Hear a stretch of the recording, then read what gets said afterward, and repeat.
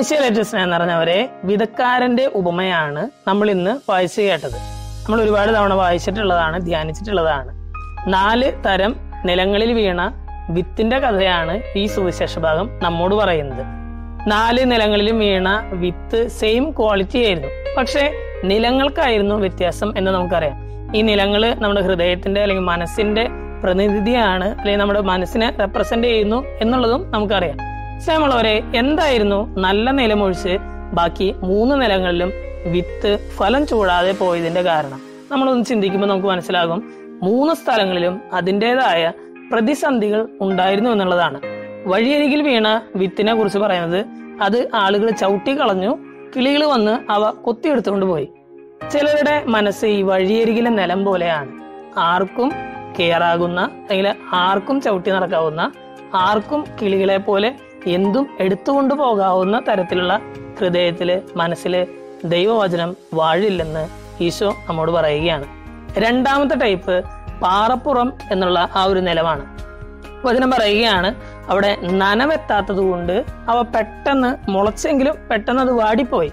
സ്നേഹമുള്ളവരെ വിശ്വാസത്തിന്റെ നനവ് നിന്റെ ഹൃദയത്തിലില്ലെങ്കിൽ മനസ്സിലില്ലെങ്കിൽ വചനം നിന്നിൽ ഫലം ചൂടില്ലെന്ന് ഇന്നത്തെ സുവിശേഷം നമ്മോട് പറയുകയാണ്. മൂന്നാമത്തെ ടൈപ്പ് മണ്ണെന്ന് പറഞ്ഞാൽ മുൾച്ചെടികൾക്കിടയിലുള്ള മണ്ണാണ്. വചനം പറയുകയാണ് വിത്ത് മുളച്ചു പൊന്തി പക്ഷേ മുൾച്ചെടികളും അവയോടൊപ്പം വളർന്ന് അവയെ ഞെരുക്കി കളഞ്ഞു. എന്തും ഫലം ചൂടുന്ന മണ്ണ് പോലെയാണ് ചിലരുടെ ഹൃദയം. നല്ല കാര്യങ്ങൾ വന്നാലും അവർ സ്വീകരിക്കും ചീത്ത കാര്യങ്ങൾ വന്നാലും അവർ സ്വീകരിക്കും.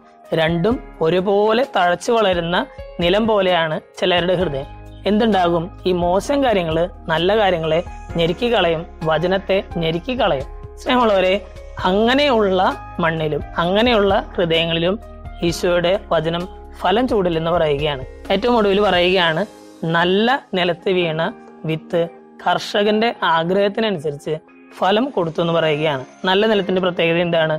ആരും കയറി ഇറങ്ങാതിരിക്കാൻ വേണ്ടിയിട്ട് വേലി കെട്ടി സംരക്ഷിച്ച നനവുള്ള ആവശ്യമില്ലാത്ത കാര്യങ്ങൾ കയറി ഇറങ്ങാത്ത ഒരു ഹൃദയം. അങ്ങനെയുള്ള മണ്ണിൽ ദൈവത്തിന്റെ വചനം ഫലമണിയൂ എന്ന് ഇന്നത്തെ സുവിശേഷം നമ്മോട് പറയുകയാണ്.